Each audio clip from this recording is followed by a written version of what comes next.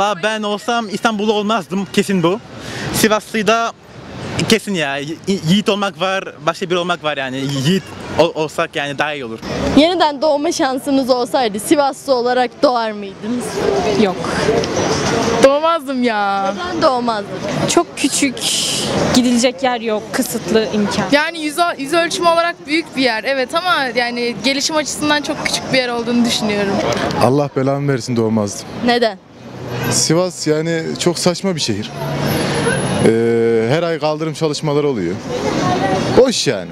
Evet. Evet. Zaten Sivaslıyım. Neden Sivaslı olarak doğmak isterdiniz tekrardan? Bilmem. Çok sıcak insanları var. Doğardım tabii. Neden?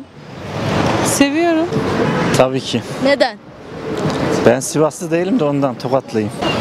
Evet, Neden? seviyorum Sivas'ı. Doğardım. Neden? En güzel şehir Sivas. Çok yer gezdim, 3-5 yer gezdim ama Sivas daha güzel. Kesinlikle. Neden? Elhamdülillah Sivaslıyız çünkü mutluyuz. Yani daha ne diyeyim? Tekrardan Sivas'ta olsaydınız neden? Olsa Sivaslı olurduk yani ne diyeyim? Değil? Kesinlikle. Yani bir din olsaydı diyorum Sivaslı olurduk yine yani. Elhamdülillah Sivaslıyız. Olmasaydık mahcup olurduk yani. Peki siz Valla mutluyuz, gururluyuz yani ne diyelim.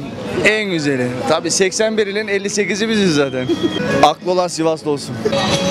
Vallahi herkes Sivaslı olamaz yani bu nasip kısmet işi bence. Elhamdülillah. Sivaslı olmak isterdim. neden? Sivaslı olmak güzel ya. Gurur vereceğim. Her zaman 58 her yerde. Neden?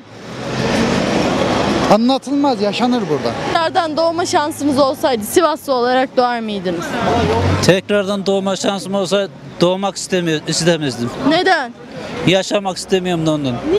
Abla Sivaslı olmasaydım yine de Sivas olmak isterdim ben. Sivas'ı çok seviyorum. Memleket yani sonuçta. Neden? Neden? İnsanı iyi, her şeyi buranın ya. Vallahi havası da güzel.